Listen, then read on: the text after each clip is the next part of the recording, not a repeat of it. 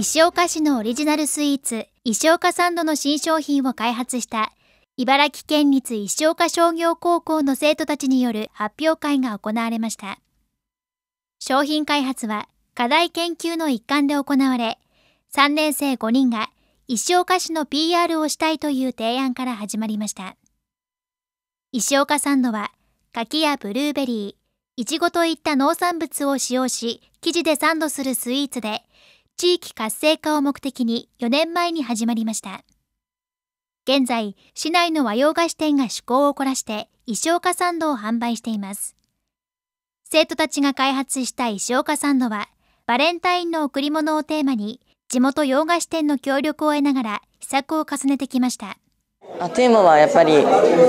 バレンタインなんで可愛らしくその石岡の八里の名産のいちごを使用した感じさっぱり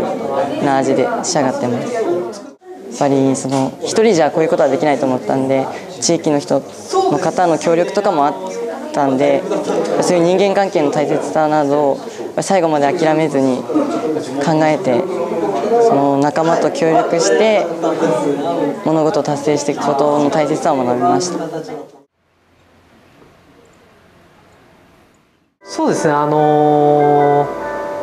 高校生らしいというかあの可愛らしいケーキで仕上がってとても今風なケーキには仕上が仕上がりましたがね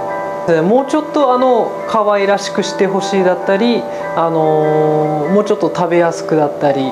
あの中にいちごを入れたりっていうような形で、まあ、23回試作はさせていただきましたえーとまあ真剣であのこの企画に必死なんだなっていうのが伝わってきました。えっとそうですね。あの普通のこの先生から聞いて、えー、それを覚えるという授業ではなく自分たちで考えてやるのが課題研究なので、まあ、結構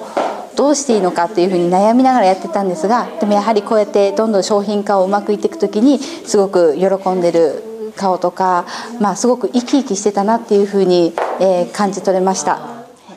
今回生徒たちが開発した石岡サンドの新商品は